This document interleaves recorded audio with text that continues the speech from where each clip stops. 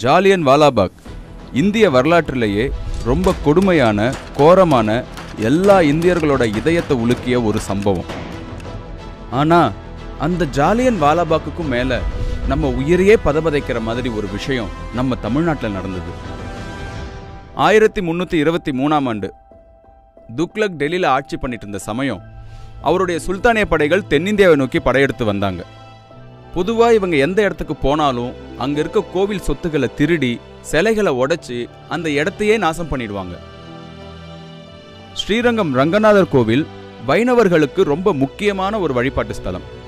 ஸ்ரீரங்கம் நம்பெருமாள் சிலை தூய அபரஞ்சி தங்கத்தால செய்யப்பட்டது. சுல்தானிய படைகள் ஸ்ரீரங்கத்தை நோக்கி படையெடுத்து வந்தாங்க. இந்த படை ஸ்ரீரங்கத்துக்கு வந்தா கோவிலை நாசம் பண்ணி கோவிலில் உள்ள பொன் பொருள் எல்லாத்தையும் கொள்ளையடிப்பாங்கன்னு பக்தர்களுக்கு தெரியும்.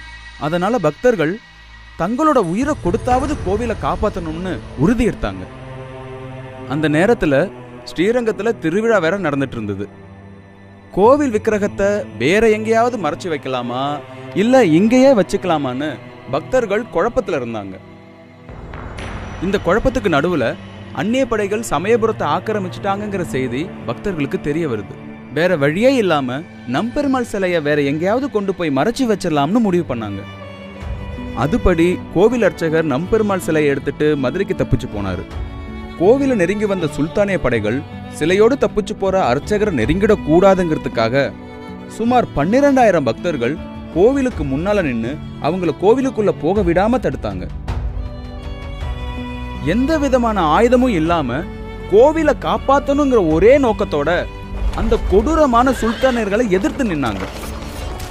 கொடூரமான அந்த சுல்தானிய படைகளோட தாக்குதல் தாங்க முடியாம பன்னிரெண்டாயிரம் பக்தர்கள் தங்களோட உயிரையே கோவிலுக்காக தியாகம் பண்ணாங்க. இது கோவில் ஒழுகுங்கிற புத்தகத்துல பன்னிராயிரம் திருமுடி திருத்திய கலாபம்னு குறிப்பிடுறாங்க. அந்த புத்தகத்துல சுதர்சன பாட்டா உட்பட பன்னிரெண்டாயிரம் வைஷ்ணவர்கள் இதயமற்ற கொள்ளையர்களால ஈவு இரக்கம் இல்லாம கொல்லப்பட்டாங்கங்கிறது குறிப்பிடப்பட்டிருக்குது. அதாவது பன்னிரெண்டாயிரம் தலைகளை கொய்த படையெடுப்புன்னு அர்த்தம். இதுக்கு இடையில நம்பெருமாள் விக்கிரகத்தை எடுத்துட்டு போன அர்ச்சகர் சுல்தானிய படைக்கிட்ட மாட்டிக்க கூடாதுங்கிறதுக்காக வெள்ளாயிங்கிற ஒரு பக்தை சுல்தானிய பட தளபதியை எப்படியாவது திசை திருப்பணும்னு முடிவு பண்ணி அந்த தளபதியை மயக்க நடனமாட ஆரம்பிச்சாங்க. அந்த தளபதி அவங்க நாட்டியத்துல மயங்கி போனான். இதனால அவங்களோட அந்த நாட்டியம் பல மணி நேரங்கள் நீடிச்சது. வெள்ளாயி அந்த தளபதி கிட்ட கோவில் பொக்கிஷங்கள் எல்லாம் கோபுரத்துல இருக்குதுன்னு சொல்லி அவனை கிழக்கு கோபுரத்துக்கு கூட்டிட்டு போனாங்க.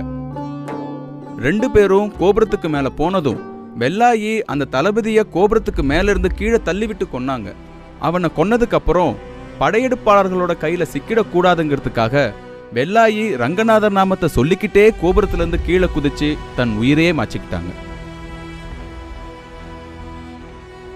இது நடந்த பல வருஷங்களுக்கு அப்புறம் விஜயநகர சாம்ராஜ்ய மன்னர் கம்பண்ணா சுல்தானர்களோட போரிட்டு அவங்கள தோற்கடிச்சாங்க. அவர்தான் வெள்ளாயம்மாவோட தியாகத்தை போற்றி கிழக்கு கோபுரத்துக்கு வெள்ளை கோபுரம்னு பெயர் சூட்டினார். இப்போவும் அந்த அம்மாவோட தியாகத்தை போற்ற விதமா தொடர்ந்து அந்த கோபுரத்துக்கு வெள்ளை வண்ணம் பூசிட்டு இருக்கிறாங்க. இதுதான் தமிழ் கலாச்சாரம். தமிழர்கள் நம்ம கோவில்களை பல படையெடுப்பாளர்கிட்ட இருந்து பாதுகாத்த எண்ணற்ற தமிழ் வீரம் பத்தின கதைகள் இருக்குது. நான் இறந்தாலும் பரவாயில்லன்னு தமிழன் தன் கோவில்களையும் தெய்வங்களையும் காப்பாத்தினான்.